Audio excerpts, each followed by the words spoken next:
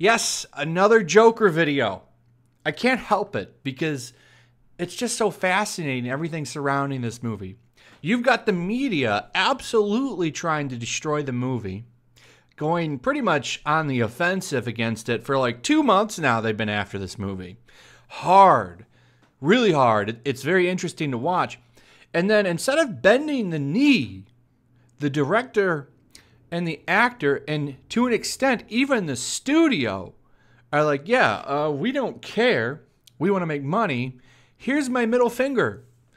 And now we have the backlash to that. So we're going to go over that. We've got two articles that I think are interesting to go over because this one I really liked because look at the headline. How could I, if you've been watching my channel for a while, how could I not go for this one?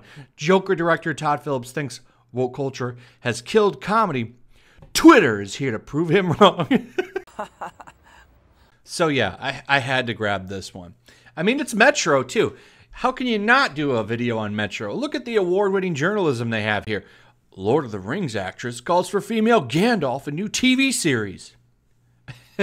Metro is a joke. What a dumb idea this is, making female Gandalf. Luckily, the Tolkien people, the guys that control it, the family that control all of his stuff, I'm pretty sure are strict on stuff and won't allow something dumb and woke like that.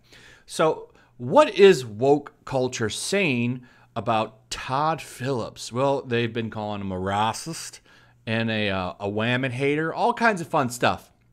All because he said, I'm just tired of all these clowns on Twitter ruining culture. So let's go ahead and skip down. This is just a pretty much a recap. So if you don't know what happened, Todd Phillips did an interview with Joaquin Phoenix. The piece was more centered on Joaquin Phoenix, but Phillips did have some responses in there. And he pretty much said you can't really make comedy anymore in today's in today's world because people are so butthurt about everything. And of course, because he blasted on Twitter, they didn't quite like that, so a bunch of dummies on Twitter came out and gave their opinion. And the article says this Unfortunately for Todd, he made these comments in a year when Booksmart received critical acclaim. Critical acclaim. Well, that really means a lot in today's world, doesn't it? They pretty much, you pretty much always see the audience rating super low, critic rating really high. And we've talked about this tons of times. Critics are garbage now. They all live in Hollywood or San Diego or San Francisco. They're out of touch with the rest of society. They really are. There's a reboot of Jay and Silent Bob coming, and it'll probably be as unfunny as the other one was. I'm sure a lot of people aren't going to like that I just said that, but I'm sorry. Those two characters worked better as supplements. I like a lot of those old um, Kevin Smith movies, but I didn't think Jay and Silent Bob was that good. It was funny the first time. It didn't age as well as the other movies. It's just my opinion and I'm sure a lot of people aren't going to aren't going to agree with me, but I really also don't see that movie being particularly that funny around woke culture. You know Kevin Smith is kind of sold out. I just don't see him being as edgy as he used to be. So that's my take on that. But let's go ahead and look at the people they highlighted here. So we got this guy here says Todd Phillips, go try to be funny nowadays with this woke culture. And this guy lists The Good Place, Barry, Fleabag, Fleabag, Brooklyn Nine-Nine, It's Always Sunny in Philadelphia, Curb Your Enthusiasm, BoJack Horseman, Bob's Burgers, Rick and Morty, and Schitt's Creek. So here's the thing. So I only know a couple of these. I'm going to touch on the ones that I've actually watched. It's Always Sunny in Philadelphia and Curb Your Enthusiasm. Now, I know those two are older than woke culture which has pretty much really set in the past couple of years. I, I, there was a really good article I missed where Charlie Day talked about this, and I think that shows like that in South Park are grandfathered in. So they don't get hated on because they're older than things are. Like, they're older than the craziness going on right now. They're like, well, those shows were always offensive, so we'll give them a pass. You try to start those shows right now. Out of the blue, let's just go ahead and say It's Always Sunny in Philadelphia starts up today. That show wouldn't last one season. Sorry, they'd cancel it because everybody on Twitter would be butthurt about it. I think that's a really good point that Charlie Day made, and it really does apply. That's that is what would happen. I promise you, it would get ran off because it's too offensive. It's just too offensive. So, I think a lot of those shows that people like to name, oh, those are doing just fine, is because they get a pass because they predate all of the sensitive butt hurt that's been going on lately. This one right here. Very sad to hear that comedy doesn't work anymore. My condolences to Phoebe Waller, Kamal, whoever these people are. Adam Sandler listed. Adam Sandler has been funny in a long time. A long time. I like how they name a bunch of woke comedians too. Todd Phillips, when woke culture is making comedy impossible. Taika Waititi, I don't even know who that is, is about to play an old World War II guy. Don't know who that is. Probably not going to be funny. I think Todd Phillips is doing an extraordinary job on his press tour, Scarlett Johansson. So you can see all the butt hurt here. Uh, people are seeing So this one I liked. Between Two Ferns, the movie. Actually, that is a pretty funny YouTube thing. I don't know what that's from, but it's it's that guy from The Hangover does interviews and he's really awkward. I think you should leave and the unofficial Bash Brothers experience were all made by white guys who are somehow managed to be super hilarious without resorting to edgy humor. The point is that you can't do edgy humor anymore. It's kind of the point, so you can't do it or you'll be ran out. It's kind of the point. Like comedy's being censored and restricted. That's not that's a bad thing. And that's what these people just don't get, that it's bad. You can always just not watch it or listen to it. It's like Dave Chappelle said in his special, you clicked on my face, right? Just like you clicked on this video. If you don't like what the video has to say, you know what you're getting onto. I'm sure, I don't know what the thumbnail is going to be, but I'm sure it was something ridiculous telling you the kind of content you're going to hear when you click on it. If it's such a problem, don't watch it. But these people are are so they so want to be mad that they will click on it and then they'll go and say how you don't have a right to listen or watch what you want to watch because they're butthurt about it. It's ridiculous. And then this was what really caught my eye. This this guy by Rod uh, Tenenbaum here. Sad to learn Todd Phillips is a Todd Phillips is a jackass who thinks SJWs are trying to ruin comedy. Also note the use of the word guys. So he used guys in a general sense in his in his comment, but they're taking it to that he's saying that only guys can be funny. That's the kind of like critiquing and and picking apart things these people do to destroy you. So then we got this one. I don't even know what this outlet is, Grazia. It says, Wake up call, Todd Phillips. If you have to offend people to be funny, you're not good enough to be a comedy writer. I think uh, that's a really stupid point because there's all kinds of comedy, but the best thing about comedy is when it pushes boundaries. It literally keeps speech free. But, you know, we're trying to get rid of that old pesky freedom of speech anyway. That's got to go. We got to get rid of that anyway. But this is the best. This, look at the look at the the sub line here. The fact that mediocre white men aren't succeeding in comedy anymore isn't something to cry about. How dare you!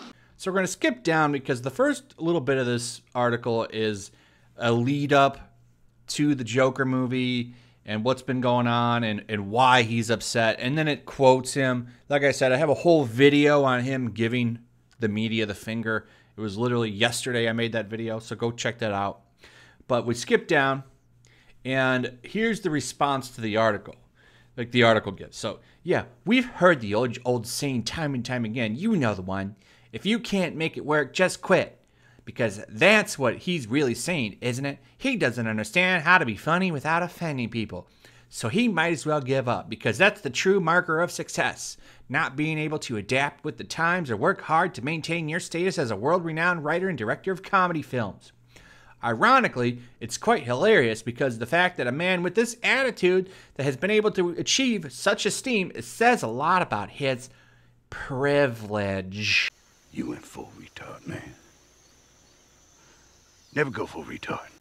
In fact, it says a lot about all the men who are supposedly quitting comedy because their offensive jokes won't fly anymore. It says good riddance. That's right, good riddance. So I got to get rid of those comedians that are edgy and offensive. And then we got to put in, you know, sensitive people like Anna Akana, You know, that woke comedian on YouTube with 2.5 million subscribers because she hits trending and she gets boosted by YouTube? Oh, that's right. That's a thing too that's been going on. There's a reason why, like my videos, Tim Pool's videos, Quartering's videos, all our videos don't show up. It's because, you know, well, first off, Orange Man bad. We also don't push the right message. You know, you have to be in line with certain people's politics, then you get on the trending page. That's how things work. And then there's that whole weird thing with that woman, like, like YouTube, you know, the tinfoil hat stuff saying that this YouTuber is paid for. That woman that lives in a van, she did like one interview with Philip DeFranco, and then all of a sudden she got like a million subscribers or something. Yeah, I'm I'm almost fully in agreement with the people that put their hats on for that one and say that YouTube's paying for her. I I kind of buy that. I think that that's a real thing. No one's really talked about it for a while, but her subscri- her views have dropped down, and they don't match up with the subscribers she's getting. Some don't smell right there, you know. Anyway, finally, mediocre men who have been indulged and entitled their entire careers are realizing they don't deserve the top spots in their industry. Now, those are reserved for comedy writers and comedians who can actually be funny without making cheap jokes about people that are more marginalized than them. Really. So, I don't know. You've probably, I'm, I'm sure most of you that watch my content have seen The Hangover, Old School Road Trip man, oh man, I didn't know those movies were were racist. Did you did you notice all of that racism in those movies? Do you see what they're doing? This is what they always do with literally no evidence. They just throw those things in there and just label you like that because you don't agree with them. That's where we're at now. Luckily, though, a lot of people are catching on to this and not buying it. However, it's still damaging nonetheless. So they say, you know, these Tiffany Haddish, Mindy Kaling, Leslie Jones. Notice how it's all lady comedians. You know what I'm saying? Anyway, Leslie Jones, really? really? Anyway, because you're because wake up call to all the funny guys quitting comedy. Those jokes have never been funny to the people you were talking about. Happy people didn't suddenly wake up and start hating homophobic jokes and women POC or disabled people suddenly didn't decide to be offended by everything. Yes, they did. Actually, here's the thing these people they're listing, these groups, none of them are offended by this stuff, really. You know who's offended by everything? Millennial white people. Those are the people that are offended by everything and are deciding what these people in these groups that they call POC and disabled people and all this stuff, they de- they're deciding what you should be offended by. Isn't that in itself some kind of weird form of, of racism? It kind of is, at least in my opinion. Anyway, just the millennial the millennial white dudes, those are the worst ones. I'm telling you because they think they're the moral authority and they get to decide how other people feel. It's really strange that no one's ever talked about that. Anyway, it was said best by Anna Akana. That's the YouTuber I was talking about with the horrible comedy. A comedian and actor with over 2.5 million YouTube subscribers. Jokes about race are also effing cheap, she told Logan Paul on his Impaulsive podcast. Logan Paul has a podcast. Who really wants to hear that guy talk about anything? It's, it's such a strange world. I hate the comedians complaining like everything's so PC. Write better effing jokes then. Keep up with the times. No, the times are wrong. Comedy should not be restricted. I love how, like, let's just restrict comedy. Let's get rid of the freedom of speech, all that stuff. That's no one else's problem, so you can't grab the low hanging fruit anymore. Now, you still can, and the ones that do, do quite well. Look at uh, Dave Chappelle and Bill Burr they're quite successful. And they still grab that low hanging fruit, and it's still quite hilarious. And I'm telling you what, that kind of comedy is going to have a bounce back because now it's being seen as taboo and counterculture. And that's what's cool. So that stuff's going to have a bounce back. Literally, like, business is going to be good, at least on my channel, because all of that stuff is going to have a bounce back. All of these people are going to screech about it, and it's going to be fun to make fun of the screechers, which I really do enjoy doing. But anyway, that's pretty much it. Now, here's the thing. Okay, so here's where this is going to fall. If Joker is successful and makes a boatload of money, you're going to see Todd Phillips get to work again and not get canceled. If the Joker is a dud, he'll probably get canceled. And that's the sad thing about it. But I think Joker is going to be really good, and I think it's going to make a boatload of money.